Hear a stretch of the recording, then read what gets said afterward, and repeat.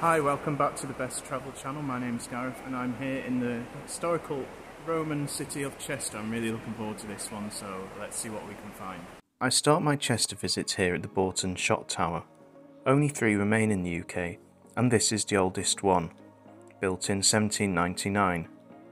It is quite possibly the oldest in existence in the world. Molten lead would be poured at the top, and when the lead dropped inside the tower, it would cool, forming flawlessly round pellets, which would then be used for muskets in the war against France. Chester stands on the site of a Roman fortress town called Deva Victrix. Eastgate clock, which you see here, marks the fortress's entrance. The clock itself was added to the 18th century archway in celebration of Queen Victoria's Diamond Jubilee. John Douglas, its architect, was better known for his church designs, but also designed some of the workers' accommodations in Port Sunlight. You may well remember that name from my video of Preston's history. Some say Eastgate Clock is the second most popular clock in the UK for being photographed. Being a popular shopping destination, no day trip is complete without seeing these rows. These rows are completely unique to the city of Chester. The first floor consists of a covered walkway of shops, while the ground floor has separate shops, some of which are usually a half story below street level. The earliest reference to the rows we see today is dated around 1356 although most of these facades and designs are 18th to 19th century renditions of older Tudor timber framed black and white architecture. There are some 20 undercrofts, which were used as cellars throughout the rows. An example can be seen here at Brown's of Chester at 28 to 34 Eastgate Street. These days, though, such crypts are used to throw husbands in when they complain of aching feet to their wives during shopping trips. I'm only joking, husbands are thrown in for many, many more reasons. Some say that the rows were built on top of Roman ruins, and that's where the undercroft idea came from.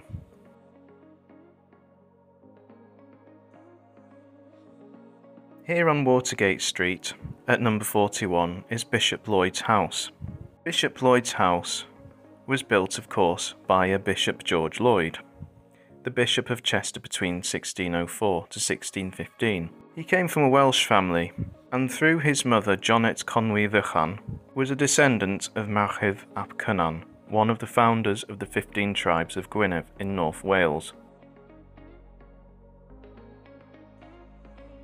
Before the 14th century rows, Chester was known as being a busy Roman town that was a linkway to Mancunium in modern-day Manchester, Eboracum now known as York, Coccium, now known as Wigan, and Bremetennacum, 10 miles from Blackburn in Ribchester.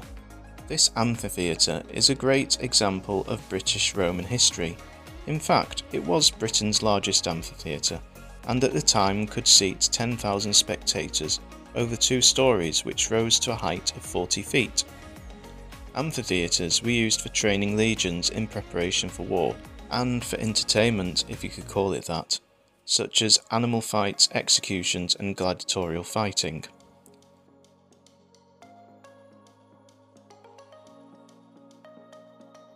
Not far from the amphitheatre is the Roman Gardens. They were built by Graham Webster and Charles Greenwood in 1949. Graham Webster was the curator of the Grosvenor Museum, which holds some of Chester's Roman artefacts to this day. The Roman gardens contain well arranged pieces of the Roman fortress. These columns would have been part of an exercise hall. This reconstructed hypocaust would have pumped underwater heating and came from a Roman bath hall, which consisted of three halls, each a different temperature. These are the ruins of St John's Church. A church has existed in some format on this site since the Anglo-Saxon times. The first church was founded by King Athelred in the year 689. The larger church ruins of which we see now were extended by the Normans in 1075 during the reign of William the Conqueror. Fast forward some 600 years, and the parliamentary Roundhead soldiers of Oliver Cromwell attached a cannon to the top of the church, to breach the city walls during the Civil War.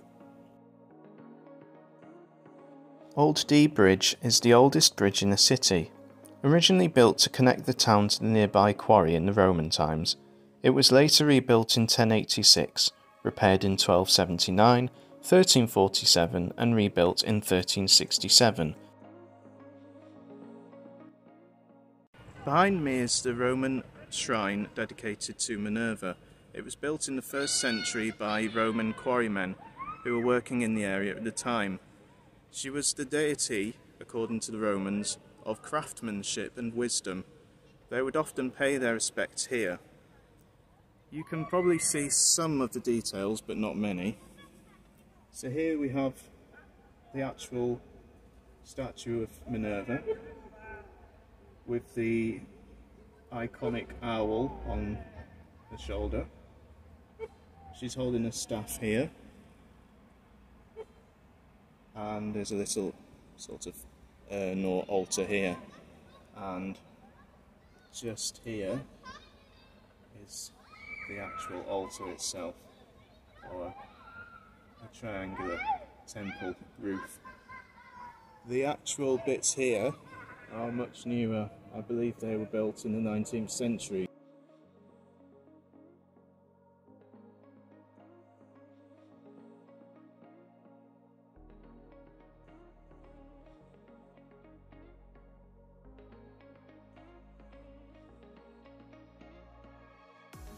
Well sadly that's all I've got time for here in Chester today, but I hope you've enjoyed watching this as much as I've enjoyed being here and showing you.